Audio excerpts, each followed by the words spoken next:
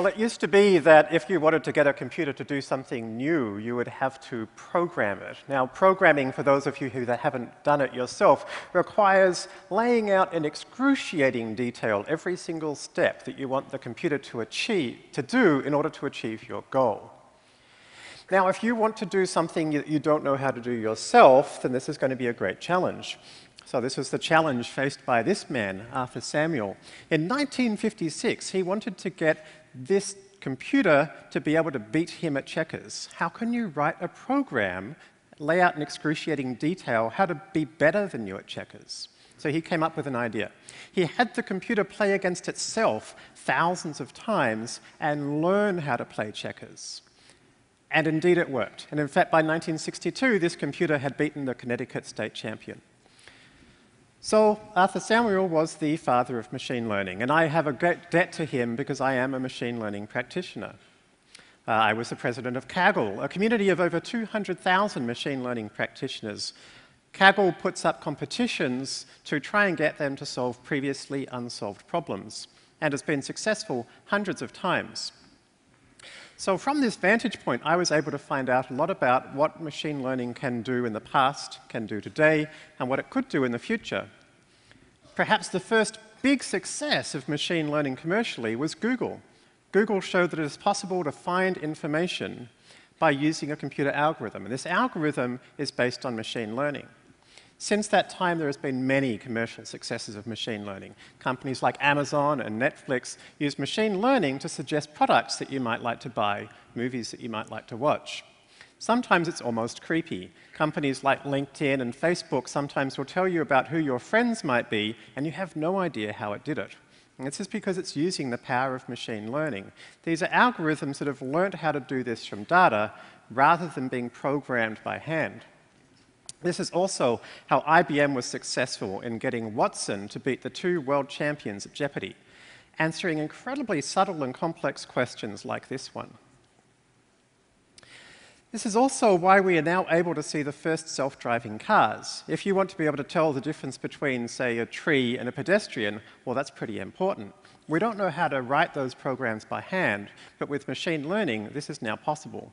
And in fact, this car has driven over a million miles without any accidents on regular roads.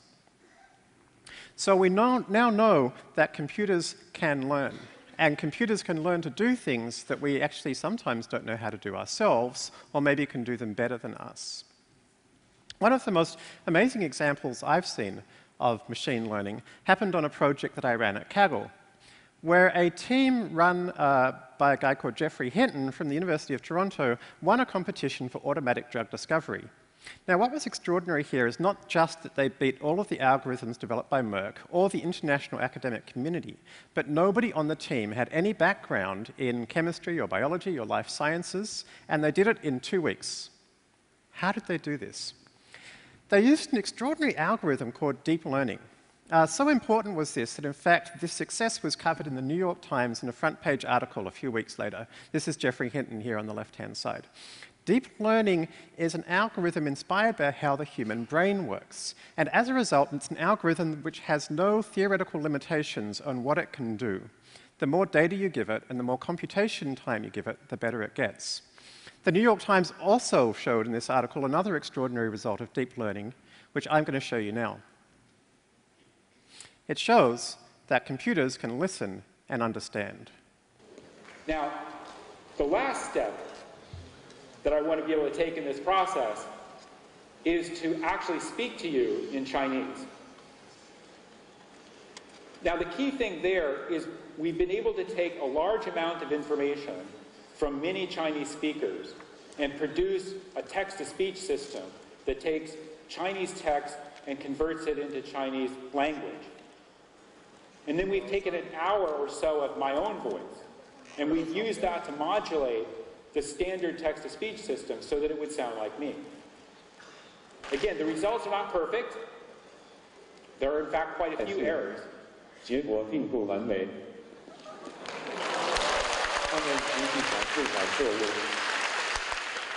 There's much work to be done in this area. 在这方面有很多工作要做。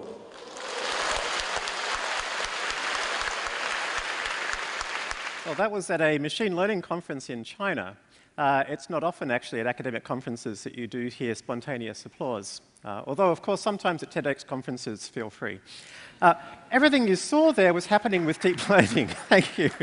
Uh, the transcription in English was deep learning. The translation to Chinese and the text in the top right, deep learning. And the construction of the voice was deep learning as well. Um, so deep learning is this extraordinary thing. It's a single algorithm that can seem to do almost anything. And I discovered that a year earlier, it had also learned to see. In this obscure competition from Germany called the German Traffic Sign Benchmark, deep learning had learnt to recognize traffic signs like this one. Not only could it recognize the traffic signs better than any other algorithm, the leaderboard actually showed it was better than people, about twice as good as people. So by 2011, we had the first example of computers that can see better than people. Since that time, a lot has happened. In 2012, Google announced that they had a deep learning algorithm watch YouTube videos and crunch the data on 16,000 computers for a month. And the computer independently learned about concepts such as people and cats just by watching the videos. This is much like the way that humans learn. Humans don't learn by being told what they see, but by learning for themselves what these things are. Also in 2012, Geoffrey Hinton, who we saw earlier, uh, won the very popular ImageNet competition, looking to try to figure out from one and a half million images what they're pictures of. As of 2014, we're now down to a 6% error rate in image recognition. This is better than people again. So machines really are doing an extraordinarily good job of this, and it is now being used in industry. For example, Google announced it last year that they had mapped every single location in France in two hours. And the way they did it was that they fed street view images into a deep learning algorithm to recognize and read street numbers. Imagine how long it would have taken before. Dozens of people, many years. This is also happening in China. Baidu is kind of the, the Chinese Google, I guess. And what you see here in the top left is an example of a picture that I uploaded to Baidu's deep learning system. And underneath, you can see that the system has understood what that picture is and found similar images. These similar images actually have similar backgrounds, similar directions of the faces, uh, even some with their tongue out. This is not clearly looking at the text of a web page. All I uploaded was an image. So we now have computers which really understand what they see and can therefore search databases of hundreds of millions of images in real time. So what does it mean now that computers can see? Well, it's not just that computers can see. In fact, deep learning has done more than that. Complex, nuanced sentences like this one are now understandable with deep learning algorithms. As you can see here, this Stanford-based system, showing the red dot at the top, has figured out that this sentence is expressing negative sentiment. Deep learning now, in fact, is near human performance at understanding what sentences are about and what it is saying about those things. Also, deep learning has been used to read Chinese, again, at about native Chinese speaker level. Uh, this algorithm developed out of Switzerland by people, none of whom speak or understand any Chinese. As I say, using deep learning is about the best system in the world for this, uh, even compared to native human understanding. This is a system that we put together at my company, which shows putting all this stuff together. These are pictures which have no text attached, and as I'm typing in here sentences, in real time it's understanding these pictures and figuring out what they're about and finding pictures that are similar to the text that I'm writing. So you can see it's actually understanding my sentences and actually understanding these pictures. I know that you've seen something like this on Google where you can type in things and it'll show you pictures, but actually what it's doing is it's searching the web page for the text. This is very different to actually understanding the images. This is something that computers have only been able to do for the first time in the last few months. So we can see now that computers can not only see, but they can also read. And of course, we've shown that they can understand what they hear. Perhaps not surprising now that I'm going to tell you they can write. Uh, here is some text that I generated using a deep learning algorithm yesterday. And here is some text that an algorithm out of Stanford generated. Each of these sentences was generated by a deep learning algorithm to describe each of those pictures. This algorithm before has never seen a man in a black shirt playing a guitar. It's seen a man before, it's seen black before, it's seen a guitar before, but it has independently generated this novel description of this picture. We're still not quite at human performance here, but we're close. in tests, humans prefer the computer-generated caption one out of four times. Uh, this system is now only two weeks old, so probably within the next year, the computer algorithm will be well past human performance at the rate things are going. So computers can also write. So we put all this together, and it leads to very exciting opportunities. For example, in medicine, uh, a team in Boston announced that they had discovered uh, dozens of new clinically relevant features of tumors which help doctors make a prognosis of a cancer. Uh, very similarly, uh, in Stanford, a group there announced that looking at tissues under magnification, they've developed a machine learning-based system which in fact is better than human pathologists at predicting uh, survival rates for cancer sufferers. In both of these cases, not only were predictions more accurate, but they generated new insightful science. In the radiology case, they were new clinical indicators that humans can understand.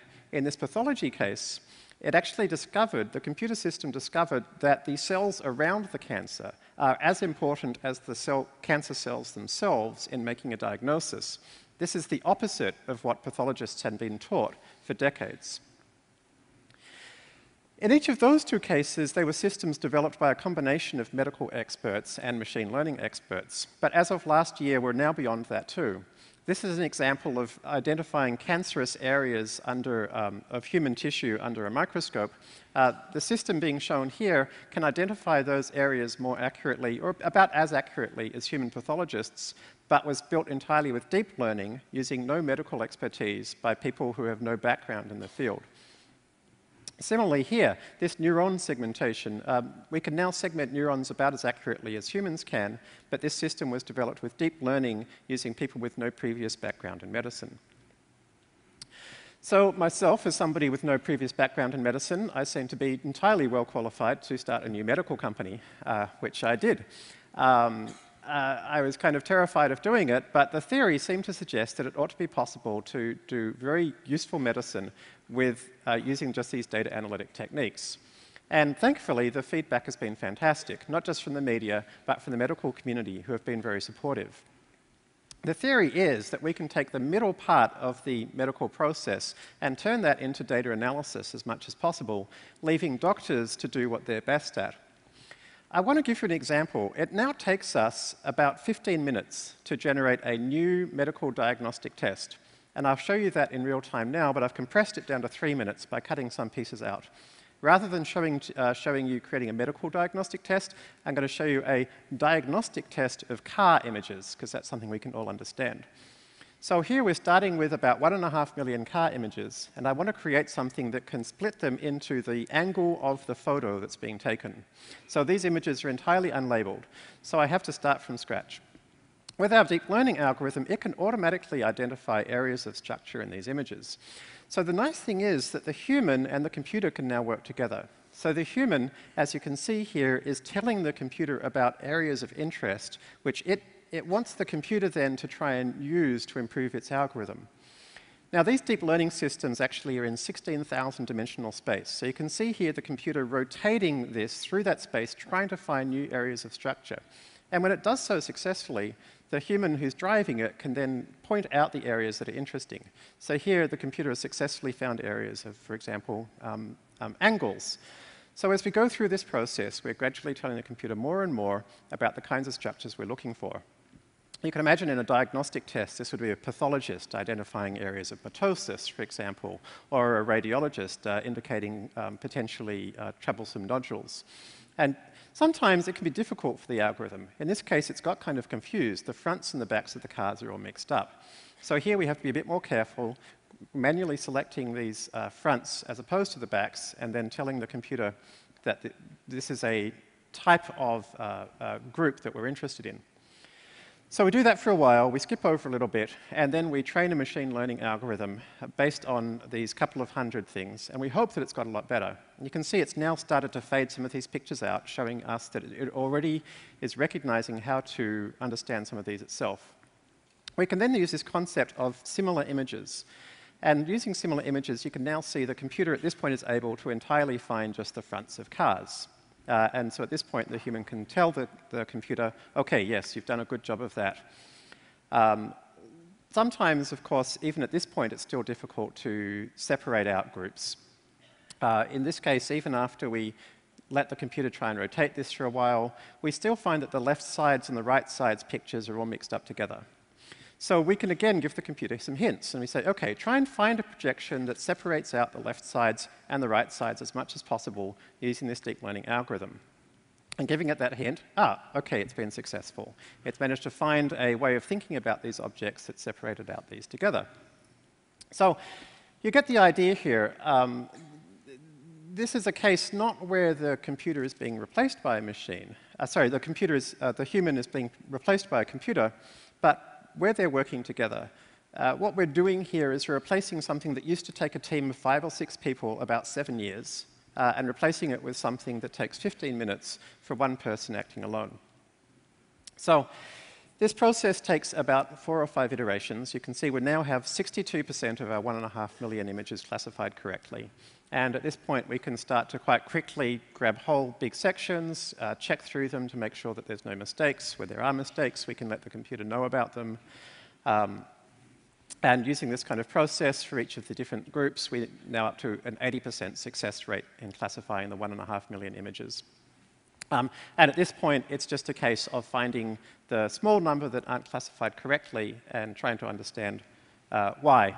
Uh, and using that approach, uh, by 15 minutes, we get to 97% classification rates. So this kind of technique could allow us to fix a major problem, which is that there's a lack of medical expertise in the world. The World Economic Forum uh, says that there's between a 10x and a 20x shortage of physicians in the developing world. And it would take about 300 years to train enough people um, to fix that problem. So imagine if we can help uh, enhance their efficiency using these deep learning approaches. So I'm very excited about the opportunities. I'm also concerned about the problems. Uh, the problem here is that every area in blue on this map is somewhere where services are over 80% of employment. What are services? These are services. These are also the exact things that computers have just learned how to do. So, 80% of the world's employment in the developed world is stuff that computers have just learned how to do. What does that mean? Well, it'll be fine. It'll be replaced by other jobs. For example, there'll be more jobs for data scientists. Well, not really. It doesn't take data scientists very long to build these things. For example, these four algorithms were all built by the same guy. So if you think, oh, it's all happened before, you know, we've seen the results in the past of when new things come along and they get replaced by new jobs, what are these new jobs going to be? It's very hard for us to estimate this because human performance grows at this gradual rate. But we now have a system, deep learning, that we know actually grows in capability exponentially. And we're here. So currently, we see the things around us and we say, oh, computers are still pretty dumb, right? But in five years' time, computers will be off this chart. So we need to be starting to think about this capability right now. We have seen this once before, of course. In the Industrial Revolution, we saw a step change in capability thanks to engines. The thing is, though, that after a while, things flattened out. There was social disruption, but once engines were used to generate power in all the situations, things really settled down. The machine learning revolution is going to be very different to the industrial revolution because the machine learning eh, re revolution, it never settles down. The better computers get at intellectual activities, the more they can build better computers to be better at intellectual capabilities. So this is going to be a kind of change that the world has actually never experienced before. So your previous understanding of what's possible is different.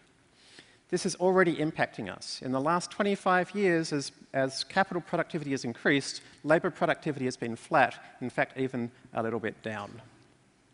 So I want us to start having this discussion now. I know that when I often tell people about this situation, people can be quite dismissive. Well, computers can't really think, they don't emote, they don't understand poetry, we don't really understand how they work. So what? Computers right now can do the things that humans spend most of their time being paid to do. So now's the time to start thinking about how we're going to adjust our social structures and our economic structures to be aware of this new reality. Thank you.